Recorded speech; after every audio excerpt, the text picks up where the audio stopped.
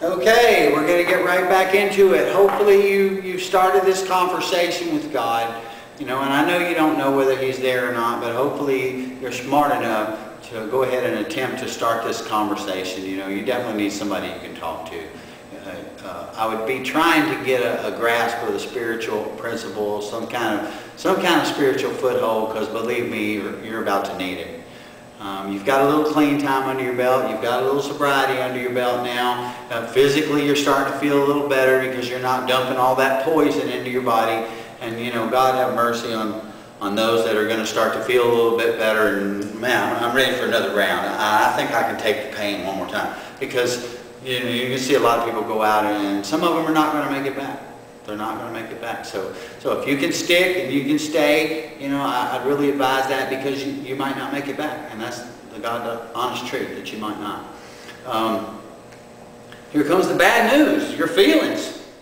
You know, you don't have that sedative anymore. You know, you don't have that crutch. You don't have that drug, alcohol barrier between you and your feelings. And let's face it, you haven't done a lot of good deeds lately, you know, or for, for a very long time. It's, uh, you've just been shoving that stuff down year after year after year, and it's all there. It hasn't gone anywhere. That candy bar you stole when you were 14, it's, it's still in there too. It's all stacked up in there. It's going to be like a like an old well geyser. It's just going to blow a bunch of black crap all over you. I, I'm not going to lie to you. It's going to be bad. You're going to be you're going to be facing these things without any of your usual help. That's why you need to start building this bridge. You know, that's why you need that guy that you that you you went to that meeting and, and you talked to him. You need, you need to be able to call him up and say, man, I don't, I don't feel good. I'm, I'm facing all this stuff and it, it's dark and, and, and, and, you know, just somebody to reach out to. And, you know, those, those places and those people are good. But eventually they all go home and they all go to bed and you're left with yourself. And that's the scariest, loneliest place to be. When you go to your bed at night there's nobody to talk to but you, and that's dangerous. That's where God comes in. That's where these conversations with God come in. Because, you know, you've heard that saying, uh, don't go away mad, just go away. Well, when God shuts down the committee meetings, Satan don't just go away. He goes away mad. Uh, and, and I got to tell you that when you're facing your feelings, not only are you facing your feelings, but you've got some physiological things going on. You've got some brain chemistry going on. It's, uh, it's going to bring on the depression. You know, you've got an emotional roller coaster that's about to start. And you got the bucking broncos of your feelings that you're going to have to start riding. And this is, this is the time that you're going to really be tested, man. I, I got to tell you, man, the devil is going to bring the rain. Uh, he's going to bring this, it's going to be a storm. You're just going to, it's going to be like being on a ship in the, in the perfect storm. It's going to be dark. It's going to be lightning. It's going to be thunder. It's going to be raining. And you just really have to hang on. You know, you have to ride that bucking bronco because you will break. I promise you, you will. Um, you're going to get some flashes of goodness, you know. At first, no, there's nothing really to feel good about. You don't have any good deeds feel about. But after you get enough time under your belt, you're going to start feeling good about that. You're going to say, wow, man, I got three months.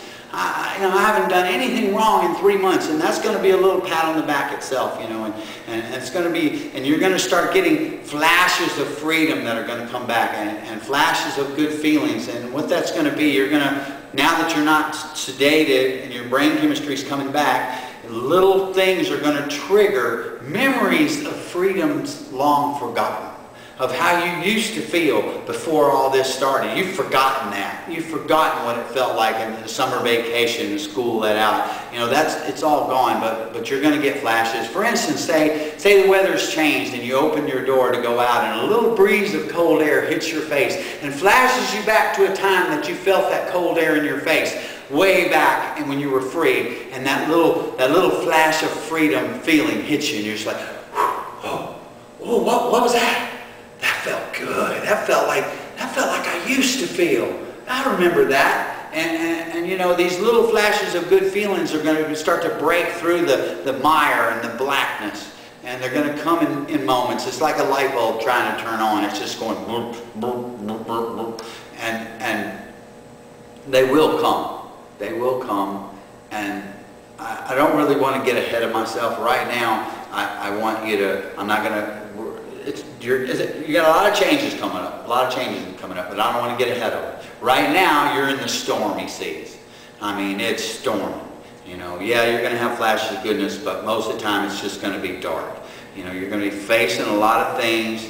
The devil's going to be talking to you. Like I said, he's going to bring the rain, man. He's going to bring the rain. Just hang on. Have these conversations with God. Keep, keep your prayer up. Keep God with you during the day. When you wake up in the morning, you know, just say, God, I want you to be with me today. Spend time with me today. He loves you. He's your father. He made you. He knows you. He forgives you. You know, he understands you. I mean, he, he, he put you here. He knows what you're going to go through. He knows all the mistakes. You know, you're going to have to learn to to forgive yourself. It's, it's, believe me, it's the devil that wants you to remind you of all the bad stuff. That he wants to keep you bad. He wants to keep you down. He don't ever want you to forget anything that you might have done. He's going to rub your nose in it. He can say, oh, look, you did something bad. You must be bad. You're never going to be good. You know, and uh, that's his game. You know, to make you feel condemned. You know, being convicted, that means you can pay the price and you get out of it. But condemned means you're done. You're, you're done for good. And that's what the devil wants. He wants you to feel condemned.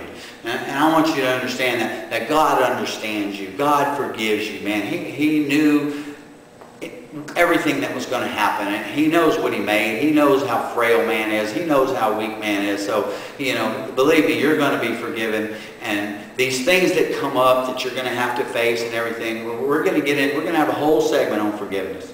Whole segment on forgiveness. The main thing I want you to realize is this storm, this storm, you're going to come out on the other side. You know, so just hang on, man. Let it rain. Let it thunder. You know, let all these bad feelings come up. And when they come up, push into them. Don't run from them like you always did. You tried that road. You tried that road of escape, and it really didn't work, did it? It put you right back here. So this time, when the pain comes, push into it. Go ahead and feel it. You know, because that's the only way you're going to break that bucking bronco is to grab a hold of it and let it buck. Let it buck, hold on to it, feel it. Push into your feelings and you'll find that they're not going to destroy you. You know, they're really not. And, and, and, and there's going to be times very soon that the, the clouds are going to part. The sun's going to come out and you're going to start a whole new stage